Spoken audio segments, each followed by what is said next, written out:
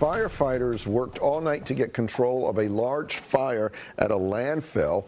Uh, Fairfax County fire crews expect to be on site for an extended period of time. It looks like uh, that fire might still be active, judging by that smoke. Uh, you can likely see the smoke from the fire on Route 1 and on I-95. We'll get you more information about that in